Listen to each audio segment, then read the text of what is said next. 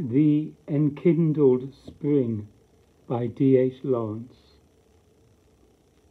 This spring as it comes bursts up in bonfires green, Wild puffing of emerald trees and flame filled bushes, Thorn blossom lifting in wreaths of smoke between Where the wood fumes up and the watery flickering rushes.